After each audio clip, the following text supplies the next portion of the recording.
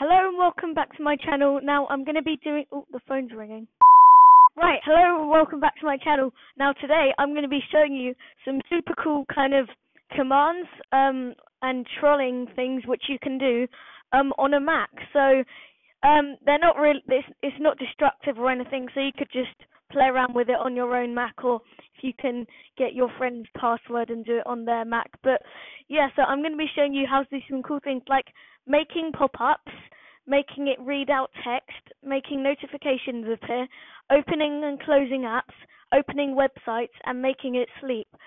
So anyway, all of this will be done with Terminal, or to do it remotely, you could SSH into it, which is probably what you would do if you don't really want them to know what's going on, because it'd be pretty obvious if you were just typing away on their computer. Um, but firstly, so making pop-ups. Now, most of these things will be done with this thing called OsaScript, and I believe it's part of Apple Script Editor. Um, so yes, uh, this is going to be the first one. It, so you do OsaScript dash E whenever you're doing OsaScript. I think it's because I think it stands for execute or something.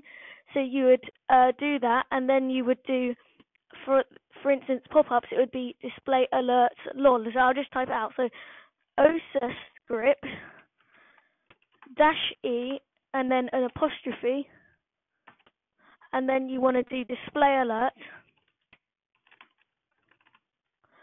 then a space, and then you want to do um, speech marks, and then I'm just going to do hi, then close the speech marks and close the whole script. So then, oh, I spelled it wrong. Well done. So anyway, here it is. So as you can see, it will come up with something which says hi, and you can see it just it just says okay. Well, if we want to add buttons, that will be quite cool. So to add buttons, you um you add in that you close the lol or whatever the message is, but instead of closing the whole script with a with a um apostrophe, you would do buttons and then you do those uh, squiggly brackets, and then whatever ones you want to do. Now, if it's only one, uh, you just remove the comma and that stuff. So you need to separate. You need to have them in squiggly brackets. Each of them need to be in speech marks. You need to do comma space and then the next one.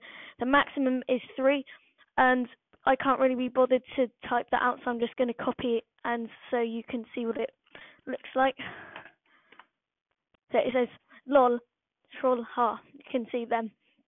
Right, so I haven't, you might be able to hear it faintly, but I haven't got like an audio capture driver, so you probably won't be able to hear it. But anyway, so you just literally type in say and, so yeah, say and then anything you want to say, speech mark, I, I think you can do um, apostrophe and speech marks. So if I do uh, welcome to the video. Welcome to the video yeah, you probably could hear that, but if not, I'll just like it, it works. Trust me. okay, and the next one is the same as display alert. The syntax is exactly the same, except you replace um, alert with notification. So okay, script editor lol. So it's um this is the thing which it would be done. So if I just do a new document, it would be anything like this. So this is this is what it's uh, this is like basically like uh, the batch file runner, I guess, um, but for WinMac. But yeah, so that's what's making all of those pop-ups appear and stuff. Right, so next we have opening and closing apps. So I'm going to do Safari, actually, it's open, so I'll just quit it completely. So I think it means open, but it doesn't necessarily like, so it opens it, so there'll be a dot um, beneath it, but it won't necessarily show it that it's open. Anyway, so it's OsaScript dash E apostrophe open app um, speech marks and it has to be capital. So and I think it has to be like the actual name. So if I was just gonna do like settings, it wouldn't be. I couldn't just do settings. It'd have to be system preferences with capitals. So I will do the same. Um, I'll just do Safari, and it's the same with open and close, but you do quit instead of close. Um, you just swap, swap open with quit. So I will do that, and you can see it.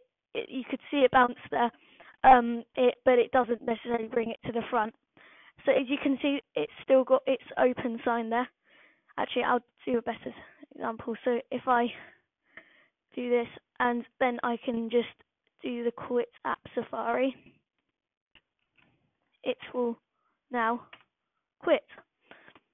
Right, and the last, no, not last one. The next one is you can open a URL. So this doesn't require any OSA script. It's just open HTTP colon slash slash. Make sure you do HTTP colon slash slash. Otherwise, it will try and open other stuff. And do the website, and then it will open the website. And um, you no, you don't have to do www dot um, unless your website requires that. But um, yeah, and now we come on to the last one, which is sleeping the Mac. Now I can't really do this. can I do it? No, I'm not going to try it, but that will sleep it. And I'll leave all of these in the description. I'll literally just copy this and put it in the description so you can try it out for yourself. Um, but yeah, that is the tutorial, and hopefully you can have a nice play around with them. Maybe prank your friends a bit. And yeah, it won't work on Windows. Trust me. Um, but yeah, that's the tutorial. Please like and subscribe for more, and I will see you in my next video. Bye!